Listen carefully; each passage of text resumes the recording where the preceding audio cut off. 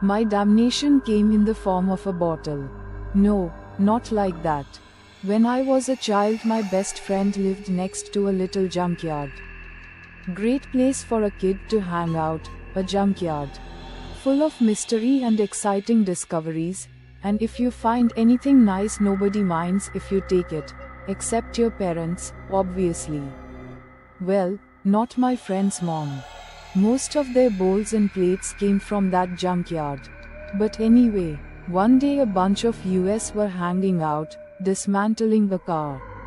Some of us might have been interested in the parts. I just thought breaking stuff was great. When we'd got the engine strewn everywhere, we set to work on the interior.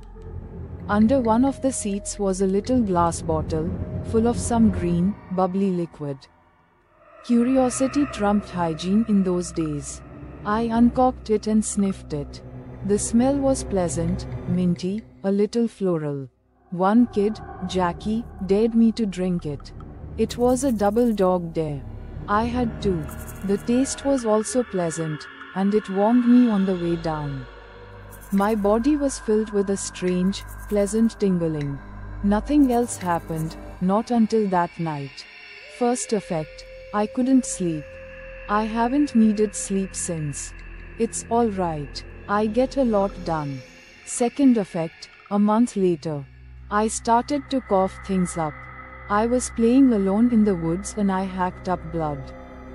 Then there were chunks in the blood. Then I was puking. The entirety of my coiled long intestine came snaking up as I sat there quivering, tears on my cheeks, struggling to breathe. Literally puking my guts up. My mouth seemed to unhinge like a snake's to accommodate my lungs. My heart was on my sleeve. The bloodstain would never have come out if I hadn't abandoned the clothes I was wearing. The police searched frantically for a missing person, but never found a thing. I wasn't empty when I finished. Though, new organs built up inside me. I could feel them, I could see them when I closed my eyes, nameless lumps and spirals springing out of nothing. Third effect. Two months later, I began to crave the water. I can't possibly describe the feeling of thirsty skin, but it was a desperate thirst. I left my parents' house one night and walked and walked until I came to a swamp.